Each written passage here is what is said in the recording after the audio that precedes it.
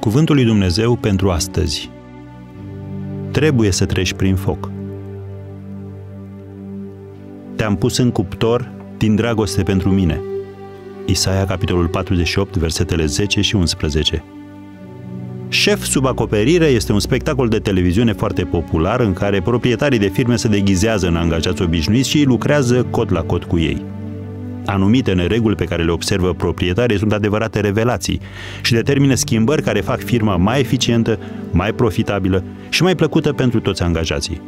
Pentru a înțelege oamenii, trebuie să te pui în papucii lor.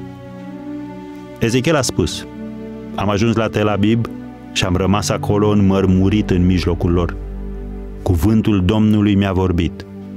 Am citit din Ezechiel capitolul 3, versetele 15 și 16. Pentru a vindeca durerea, trebuie să fii în stare să simți durerea. Biblia spune că Domnul Isus poate fi mișcat de slăbiciunile noastre pentru că a umblat și a trăit ca noi. Scrie în Evrei, capitolul 4, versetul 15. El a experimentat conflictul familial, respingerea, trădarea, singurătatea, foamea. El a mers pe drumul pe care te găsești tu acum și el știe ce simți.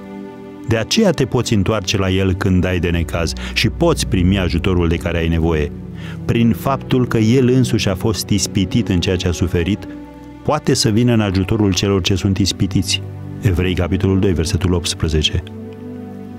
Când oferi un sfat, oamenii vor să știe dacă vorbești din experiență sau numai din cărți.